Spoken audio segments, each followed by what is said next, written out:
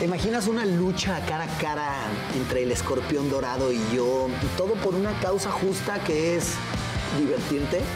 Mejor no te lo imagines y velo en Jalas o Terrajas. Solo en Prime.